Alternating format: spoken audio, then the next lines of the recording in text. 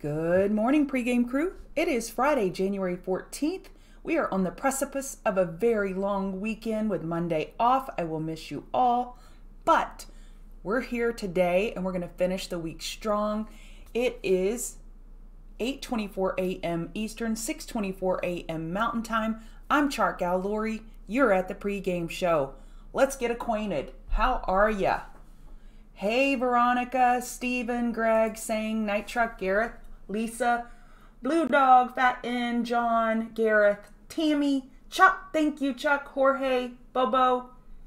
Good morning. You know what I was just thinking right before I went live, because I always say good morning, pregame crew, is we need merch. If we had pregame merch, what would you want it to say? Queen of the Mountain, pregame crew, let her rip tater chip, pigs get fat, hogs get slaughtered. What do we do? What do we say on the merch? Good morning, Topher. Let me start ripping. I, I love chatting with y'all, but I know why you're here. It's not to just chitty chat. Y'all are here for charts. So let me jump into a couple requests before I get started with the indices, commodities, crypto, and movers and shakers of the day. Let's look at Microsoft for Steven. We were looking at the separation of those EMAs, and man, did that play out. So, Microsoft is weak, yes, but let's look at it relative to NASDAQ. Is it any weaker? I mean, possibly, maybe. Let's look at distance from the 50 MA. Okay, so NASDAQ is 5% from the 50 MA on the daily. So let's look at Yeah, it, it is weaker. You're right. You're right. It is weaker. I just couldn't see it visually. It definitely is weaker. So here's the thing it's weaker, but it's going to be oversold. So in the four hour, we're at 30. So it may be oversold more than others. So it may get its bounce, its bounce started faster than the others that aren't as beat up. So sometimes playing the top lead bear bearishly can can kind of kick you in the butt. So you got to be careful with it. Use price action as always. Hourly RSI is 25. Definitely would not be shorting it here. You're shortening the whole. So our trades need meat on the bones, meaning we need to be able to get a nice pocket of money or a chunk of change off of a move. The move was up here at the rejection of the 8 EMA on the daily. That was the move. Here, you're just coming in for just like crumbles, just like little crumbles on the table.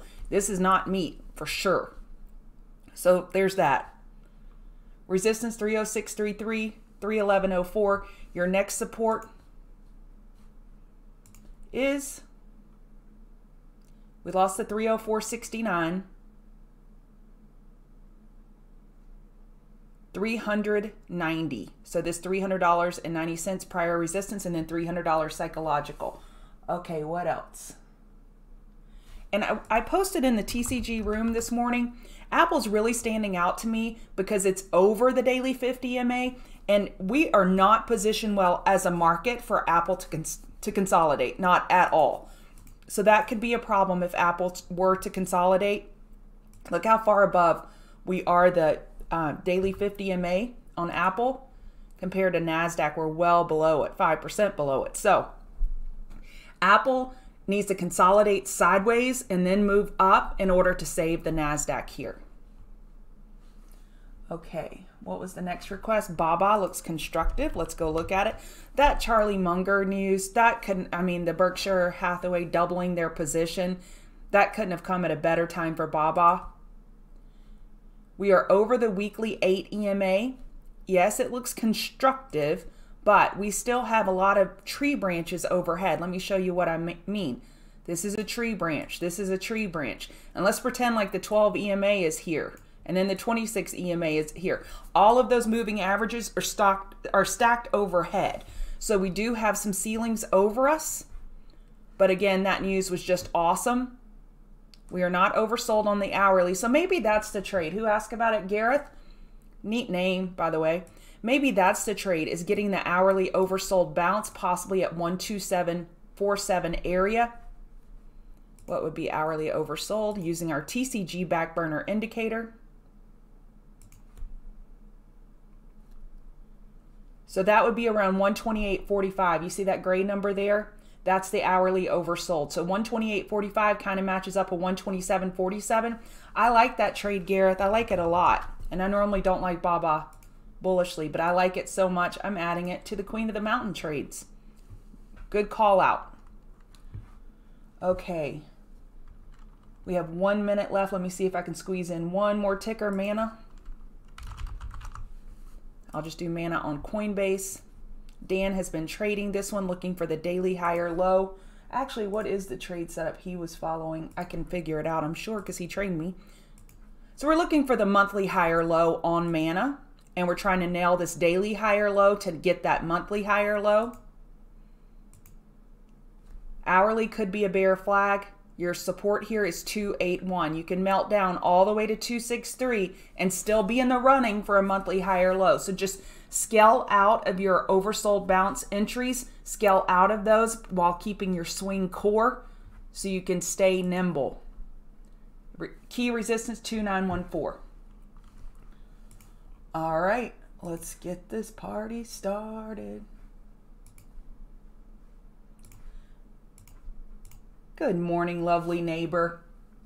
Man, there's a lot of people. There's going to be a lot of viewers today. You know why? Because there's fear in the market. And every time there's fear, we get a lot of viewers. So if you're here today for the first time or the hundredth time, please hit the like button, hit the subscribe button. Go check us out on chartguys.com. Check out my profile. Well, don't check out my profile. Gross. I had to click profile. Check me out on Twitter, ChartGal Lori. And let's get started.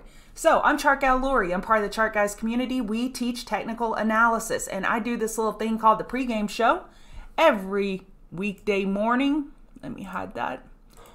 And I go over indices, crypto, commodities, movers and shakers of the day, and I give you my queen of the mountain setups, meaning setups that I think have a high probability of working. Do they always work out? Nope.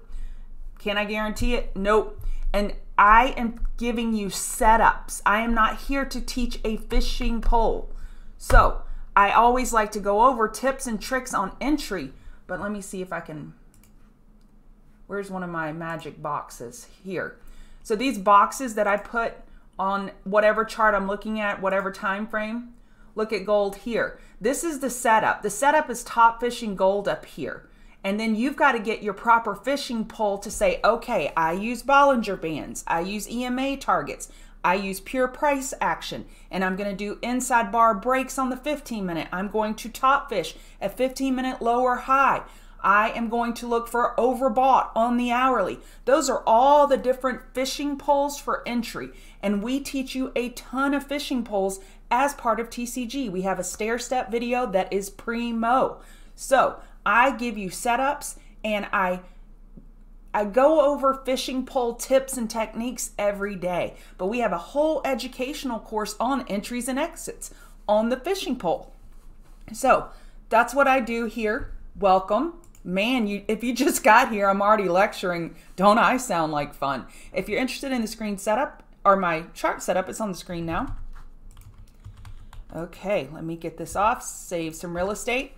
So our four hour RSI is at 35. We are not oversold on ES four hour. On the hourly, we are oversold. And I am on bounce watch this morning, but I don't have long term bullish hopes and dreams. I have short term oversold bounce mentality, meaning I'm just looking for these dead cats to bounce. And then when the bears start covering, I want to be a part of that momentum on the way up. And then I want to sell out on a pop and then enter short. So what I'm really looking at is on the hourly, these EMAs. Any bounce back up to the EMAs, bears will be looking to reposition. So prior support could act as resistance and that becomes a key level. So now 4638 on the way up could be an area where bears look to cover on any bounce and the bounce isn't guaranteed at all. The US 10 year has some hoppity hop in it. It's pulling back at the moment, but I was looking for a potential top fish on the four hour on the US 10 year. And by top fish, I just mean a short, and I'm not going to actually short go long ZB or anything like that. But I'm saying I'm looking for a lower high on the four hour, and that should help NASDAQ. And the VIX has got some real, real giddy up and go. because 12 hour I was looking at on this. So on the 12 hour, we're looking for a lower high compared to 23.33. Could we just blast through it? Sure. But odds favor a lower high on VIX, and that is what the market bulls need. We need VIX to sit down, chill out, go take a seat. So if we can get VIX to chill out today, chill out, then the market could get that bounce. Okay? So that's what we're looking at. I am looking, I could literally just watch this VIX chart, which I watch it on toss, just a heads up. But I watch it on toss. I look at slash VX and I am looking for this to take a break. I actually just shorted this and I use VXM. So that's a micro volatility contract, and shorting the VIX is one of my favorite things to do. Will it work? Who knows? I don't know if it's going to work. I have 2182 as my stop. I actually, have 21 like 90 as my stop. It goes in 5 cent increments. So, I'm looking for the VIX to top out here and then that would help our bounce. And all of this could go kaput. As soon as the market opens, all bears bring all their volume and then bulls are toast. So we got to be ready for all scenarios. So on the daily, the bears brought it yesterday in volume. Do you see how little volume we had relative to the bear volume for us to float up the way that we did? That's so easy to do when we're floating up. When we're coming down, they got to bring the volume, and they brought the volume. And speaking of volume, I have this chart on my brain, so I'm going to go cover it right now. I almost made a mistake yesterday. I was doing live coverage around here. Let's see. It was, I'm looking at the time, right here. So where volume is written. So let me, not that. Okay, so we were looking for a potential volume climax. That's going to be hard to see. So we were looking for a potential volume climax to, to buy Netflix. So I had someone ask me about Netflix about right here. And they said, hey, is it a good time to uh, bottom fish Netflix? They have earnings next week. So we have different levels over from the past. I'm not going to go look those up now and scroll and make y'all dizzy. But we had some levels in this area. Let's just pretend like that level was 520. And I said, whoa, whoa, whoa, whoa, whoa, no, no. And I almost went along with the trade idea. Oh, yeah, it looks great. Market may be finding a bottom here. And then I looked at the volume and I'm like, no, no, no, no. There is no volume climax here. Volume tells us so much. It's one of the more neglected indicators or pieces of data that we have. So we have to look at volume if we are doing oversold bounces, if we're doing longs, whatever we're doing, assess the volume.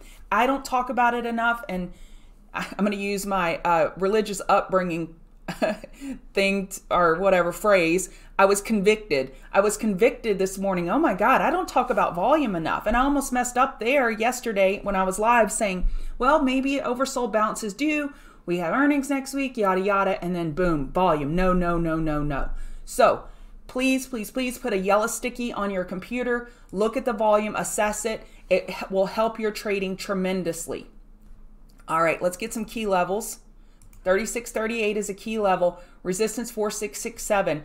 But I'm looking, let me get a side arrow here. Because sometimes I try to show y'all stuff and I don't know if my cursor is doing the job to call it out look right here 464150 that is my 8 EMA so whatever your 12 EMA is if that's what you use I'm lo- looking at that hourly EMA on any bounce up.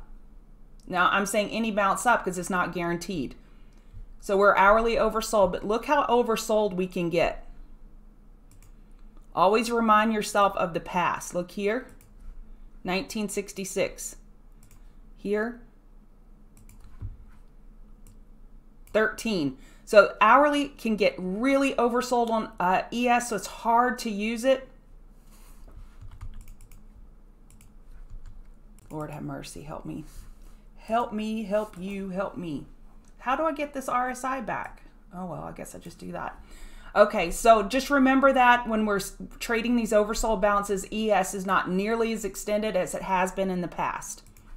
Hourly RSI on NASDAQ, Look how low it was over here. It's off the chart. It was down at 13 as well. So please remember that. And our hourly EMA is at 15434. So any dip buys that you buy would be looking to exit. 15414 would be your first resistance, and 15434 would be a target. So let me spell that out. Resistance is actual price historical price action. Target can be price action or EMAs or fibs. So targets are different. Targets encompass more categories of price action and potential areas of interest where resistance and support mean just price action, pure price action. So target, someone could use the word target loosely as they're targeting a certain fib retrace. So let's go do that here on the fibs. Oh Lord, y'all, I'm so wordy today. I'm just going to go ahead and ask for forgiveness. Wrong way. So whenever we find a bottom, if 31250 was the bottom, a target for bears would be 15578. That could be a, a, continued bear flag. So whenever we find a bottom, we could draw a fib retrace and then start targeting that 0.382 for our last runner if we bought the the bounce, the uh, dip. Oh Lord. More coffee, please. US 10 year, we went over that. RTY, RTY hourly is not even oversold. But this it's a two day now. This potential two day inverse head and shoulders is still on the table as long as we hold. What day was that? Last week's, was that last Friday? Last Friday's low. I don't know. One second. January 10th. So that was Monday. As long as we hold Monday's low, this inverse head and shoulders is on the table for RTY. YM hourly is just now getting oversold. And I would watch the banks. The banks are going to control YM a lot today. So we're losing that 4080 on XLF, which is great because a lot of us are loaded with FAZ. And your next support is 4060. So we had earnings this this morning. Let's look at JPM. So we had earnings and they're down 4%. Why? They beat. They beat handily. Why? Because it was priced in. Look at these names from the last earnings. So let's do that price. From last earnings to now, we're up 6%. So they basically, they being institutions and whomever bought this, they priced in this earnings reaction. And Dan has been watching these rising wedges, and that was a perfect, beautiful one. So that's the problem. So just because you see a beat, don't go buy those dips all the time because it was priced in. And that's what they're telling you now with the selling. Hit the like button, hit the subscribe button. If you hit the like button, I will be more succinct. Not really because I can't, but anyway. Okay, so resistance on the hourly, a target area would be around 35928 and your next support is 35641. The VIX we went over, we need it to sit down. Bitcoin, potential hourly bear flag. So Bitcoin's bounce is a little bit ahead of the market. So look at ES has not really even put in a green candle yet, and Bitcoin has. So let's see if Bitcoin is a canary for the market, meaning that its bounce is a precursor for ES potential bounce. Resistance on Bitcoin 42716, support 41752, then 4159160, and then 41274. Hourly EMAs have Bitcoin pinned, pinned to the gr ground. What do you call that in wrestling? Pinned to the the mat, pinned to the mat. Yeah, that's the ticket. Ethereum, it's bouncing as well, potential hourly bear flag. Support, low of this bounce, 3188. Your next support is 31 80, 3145, and 3075. Gold.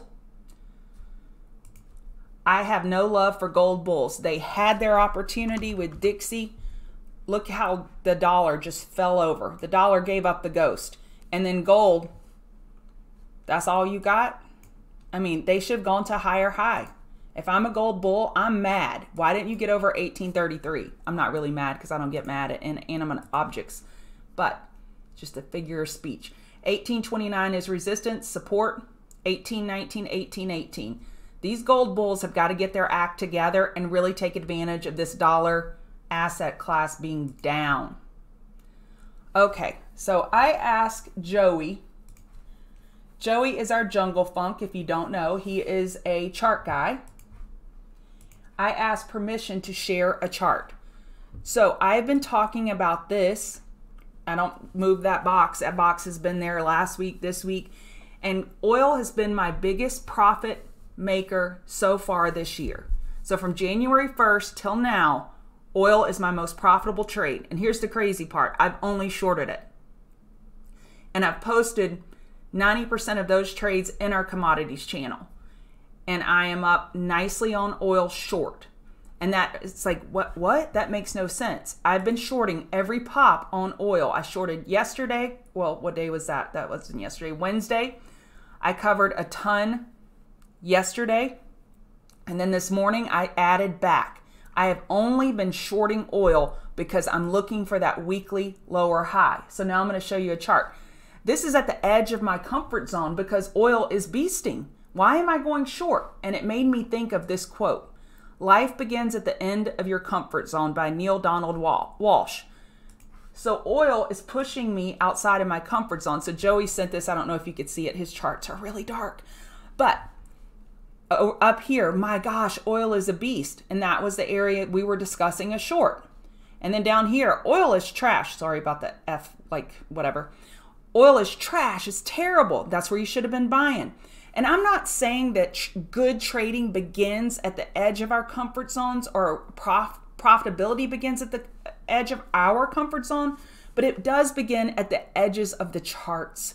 So where we have resistance, this edge, if you're shorting a raging beast, it's uncomfortable.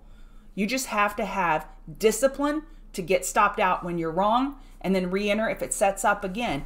And this is where we are right now. Oil's a beast. Oh my God, it's, it's a beast. Odds favor a lower high. So, am I comfortable waking up and seeing $83 on oil? No. But I opened up that platform as fast as I could and added five or six more contracts to the QM I trade QM for oil short. So I hope that helps someone. Again, that doesn't mean pushing your comfort zone on position size. No. Risk, no. But the edges of the charts, yes.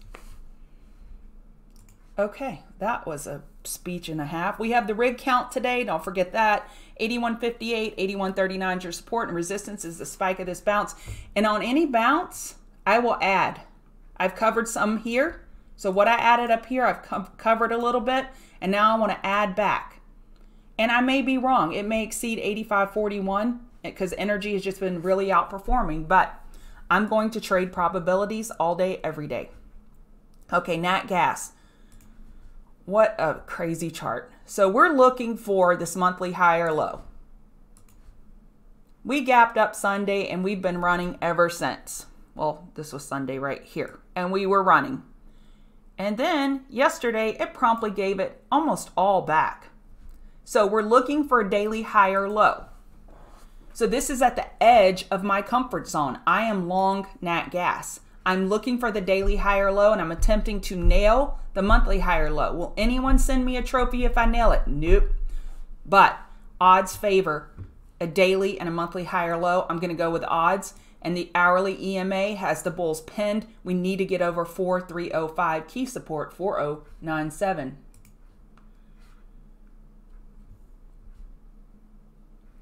EMA 8 and EMA 12, Mary, here's the difference. And bear with me in my drawing. So if you have, let's pretend like these are candles, okay? So bear with me. Actually, that's a terrible way to explain it. Let me explain it like this. So if we are on a one minute chart and we are looking at 9 a.m., the price is $10. And so I'm just going to, so then we 901, 902, 903, 904.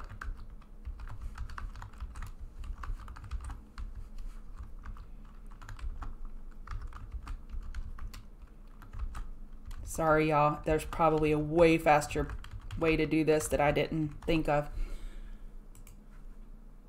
So whatever the price is at and just pretend like we're doing a one minute chart. If it's at $10 and 10, let's say it's 1002 here, then 1005, an EMA takes the average of all of these and it weights more heavily the more recent price action. That's an exponential moving average. A moving average will take the sum of the data points. Let's say it's an eight moving average, eight simple. It would do this candle uh, price entry, this price entry, this one, this one, this one, this one, this one. It's going to get eight, and then it's going to take the average and plot it.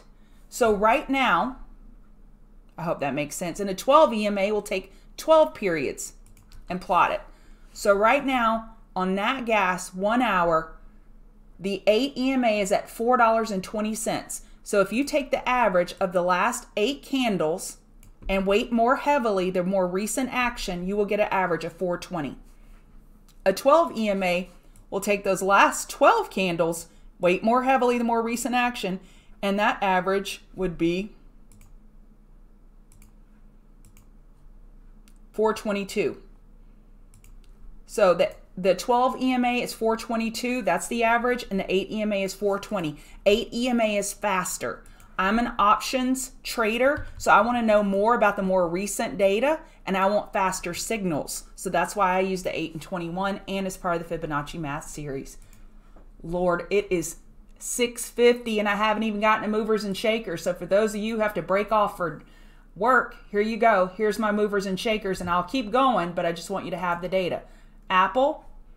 Apple was beautiful. Who got it yesterday?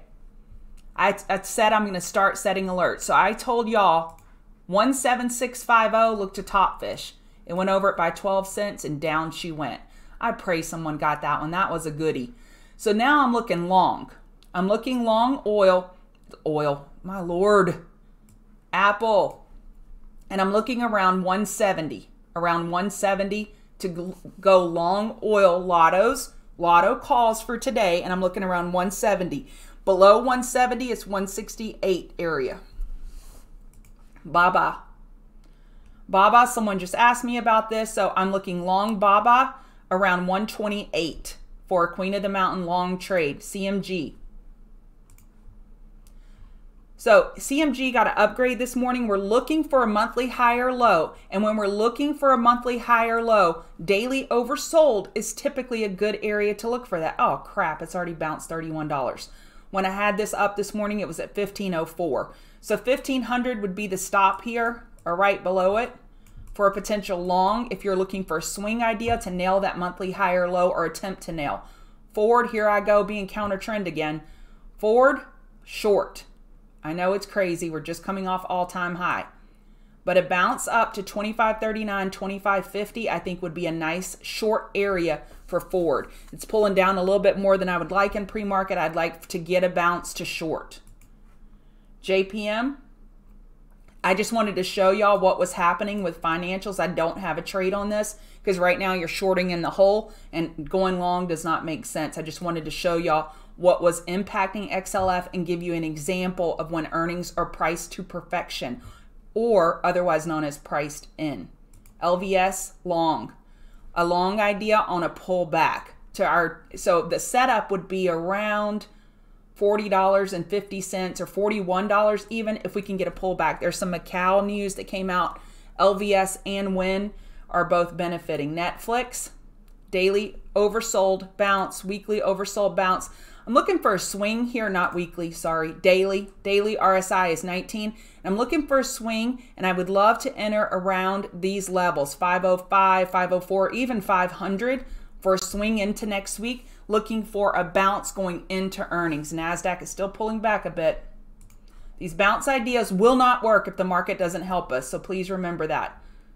So, 1010 is your support, and then 980 so we may get a bounce opportunity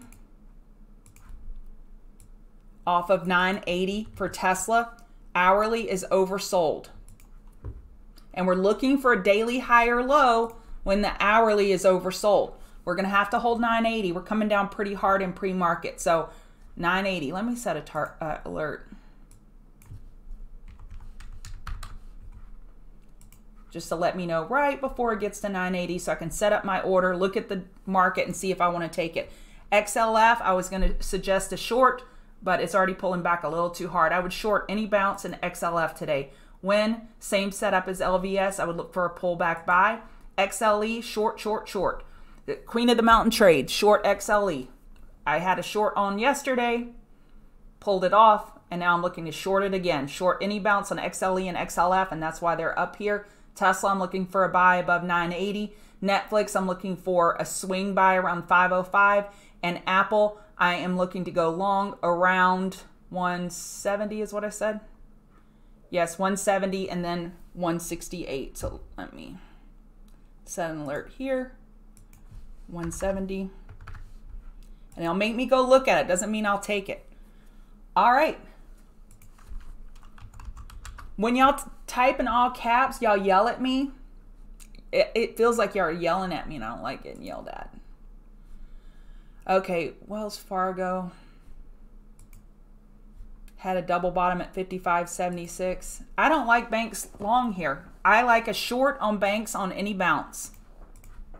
I would short Wells Fargo on a bounce. John confirmation bias funny. Ah, so funny. So all these people want to give me pointers. Go get a pregame show. All right. Y'all use stop losses. Hit the like button. See y'all Tuesday.